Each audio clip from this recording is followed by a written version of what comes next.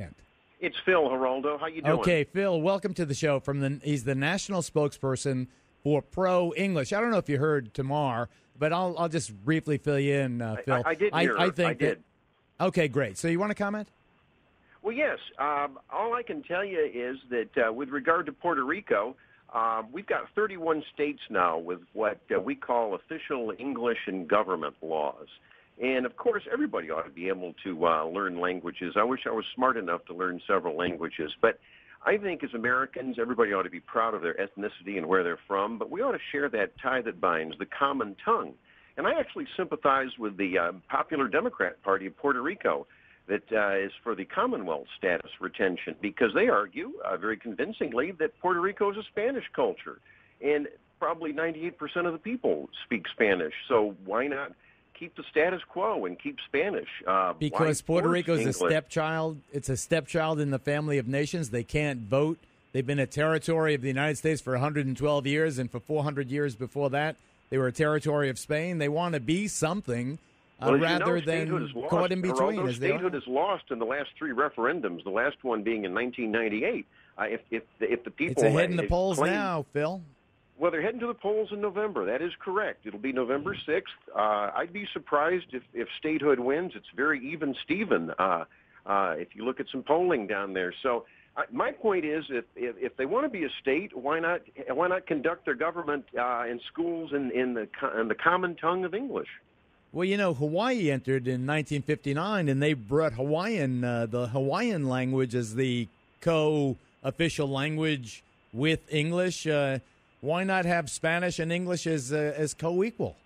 Well, actually, as you probably know, in Puerto Rico, they both are the official languages now. Right. The, So the what's point wrong is, with that? But the point is, well, no, you've been down there plenty of times, and so have I. Nobody, nobody really knows English. Even Governor Fortuno doesn't speak English much. Well, uh, I, when I doing interview him. You're going to hear him being interviewed later in this program, and he does. But Tamar, why don't you comment I to know what Phil said? Eng- I know he Yeah, speaks Well, hold on, Phil. Hold on. in the, in the, in the hold on, Phil. Government. Hold on. Let's let's talk to Tamar uh, Jacoby. I, I from do, of course, Immigration Work. understand Americans feeling that that English is the American language and is what unites us, and I'm all for that.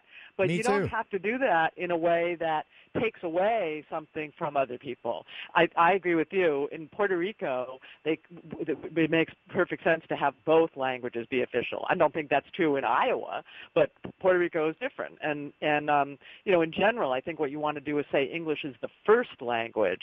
You don't want to go around saying it's the official language. You want to make it the first language, and of course, make sure that children learn it, and and and that, that that's what unites us as a country. But again, there are ways of doing that where you're not insulting people and taking away their heritage and asking them to spit on their grandmother's graves. I, I, I hear that. I, I Phil, you want to briefly comment? I've got to take a Well, commercial yeah, break, I so mean, you no got to one's make it brief. spitting. I mean, that's that that's pretty. uh, You know, that's nice rhetoric. No one's spitting on anyone's graves. Everyone uh, appreciates the Spanish culture of Puerto Rico. I don't know of anyone that doesn't, but.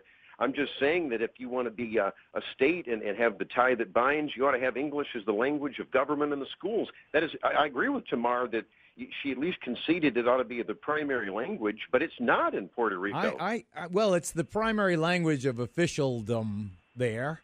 it Uh, really you know, they. Governor Fortuno that. It really, it really well, we'll ask him. He's going to be on the program in a, in a little bit. I think that uh, Santorum, though, absolutely uh, sabotaged his own candidacy. Uh, he got trounced down there, and, and he was in the Geraldo, at least running. He didn't, ironically, he didn't before pander. that. He didn't pander. He didn't say what the what what the Fortuno Well, and his statehood party Well, I don't know what he was thinking. If he was going to appeal to Latino voters going forward, you don't do it by attacking. Uh, But you the know, real uh, it's like danger, it's like in the, in the mid. Yes, go ahead, Tamar, and then I well, got the take a danger is not just what what Santorum did; it's that Romney's coming away from this thinking, "I did great among Latinos in Puerto Rico. They all voted for me." It's not going to work that way when it's Mexican Americans in Colorado. I and agree. he's got he's in denial about what he's doing to himself and the party, and what happened in Puerto Rico is encouraging that denial. That's my concern. Uh, I, I agree. I agree. Tamar I've got to go. Phil, I've got to go. Excellent discussion. I want you Thank guys you, back. Geraldo. But let me uh, let me take a break. Uh, thank you both.